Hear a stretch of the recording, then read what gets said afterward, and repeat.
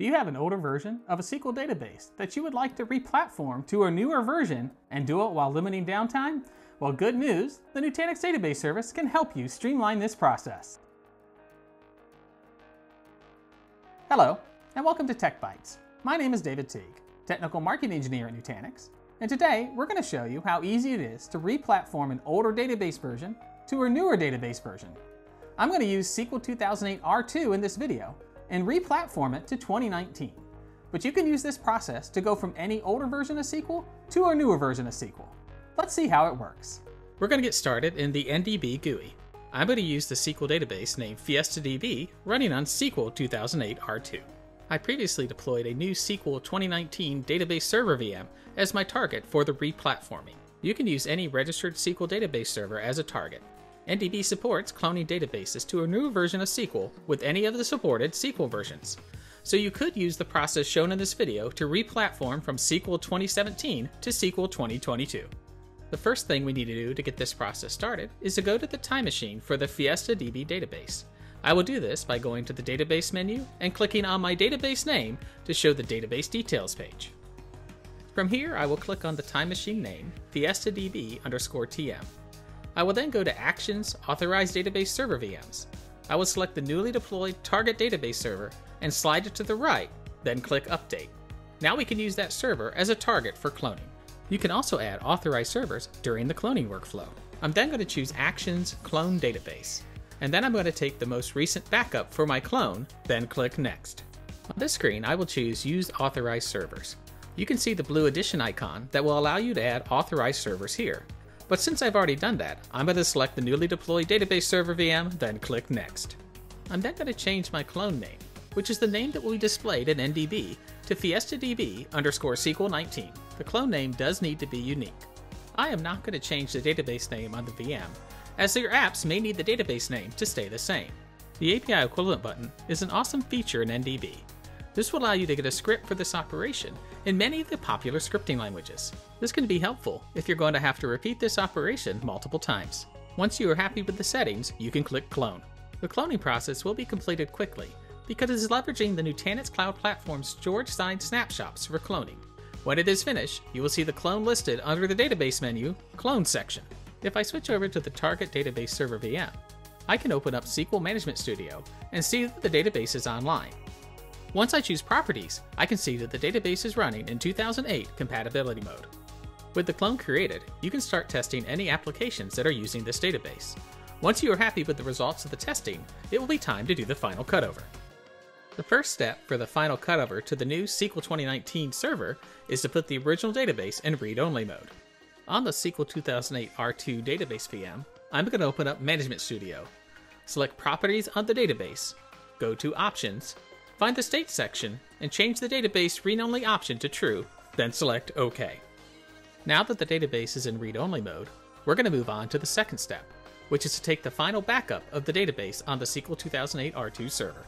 You could do a snapshot full backup or log catch-up to make sure you have the latest version of your data. We're going to select snapshot, then label it so that we know it's the final backup before the cutover. When the snapshot is finished, we're going to move on. The third step is to refresh the data on the clone of the FiestaDB database. You can navigate there quickly by clicking Clones on the left of the Time Machine screen. Now that we are in the Clone section, we can choose the FiestaDB clone and click Refresh. The refresh time defaults to the most recent, so this process will update the clone with the most recent data that NDB captured with the snapshots and any log catch-ups. This should be completed quickly. Once the refresh is complete, the fourth step is to go back to the clone screen and unregister the clone from NDB. To do that, we're going to select the clone and choose delete. However, do not check the delete the database clone from the VM. You just want to remove the registration of this clone database from NDB. This will break the clone away from the source database. The fifth step in our replatforming process is to register the database with NDB. From the drop-down menu, we're going to choose Database. We're then going to click on SQL Server to go to the Sources page. Select Register, then SQL Server and Database. Here we're going to select the database server VM is registered checkbox and choose the database server VM that was the target of the clone. On the next screen, choose the FiestaDB from the unregistered databases. Select that database and leave one database with one time machine selected. Choose the database name in NDB, This name needs to be unique, then click Next. On the next screen, choose your SLA. Because this was a clone, it is currently set to Simple Mode. This limits us to selecting an SLA that does not have log or continuous backups. We will fix that shortly, but let's keep the SLA we have here and click Register. We're almost ready to use the replatform database in production. However, let's do some cleanup and fix the recovery model of the database. With the original database on the SQL 2008 R2 server in read-only mode, we could leave this registered with NDB, but I'm going to remove it. When you do that, you have the option of deleting the database's time machine. This will delete any previous snapshots you have. I am not going to do that, as I don't want to lose the snapshot history. If I go to the time machine page, I can see the original time machine is there, but is set as frozen, and will not be receiving any more snapshots. However, you can still recover the database from this time machine if you need to. The Fiesta DB on the new production SQL 2019 server is set to Simple Recovery Model. I'm going to go to that server and change the recovery model to full, so then I can do log backups with NDB. I'm going to switch back to NDB and update the time machine and choose an SLA that has a much more robust protection plan than the previous one. From this point, you can start using this database in production. However, if you have multiple Nutanix clusters registered with NDB, you can replicate snapshots to other clusters. To do this, I'm going to choose Data Access Management on the upper left of the Time Machine page. Then choose Table and click Add. On this screen, I will select the cluster I want to replicate to, and then choose an SLA, and then click Add when I'm happy with my selections. Now I'm going to click Diagram, and you can see the clusters that the database snapshots are being replicated and what their SLA is. If we switch back to the Databases page and click on the new Fiesta DB, we can see that it's now running on SQL 2019. That's how NDB can streamline your replatforming of older SQL database versions to newer versions, while limiting downtime.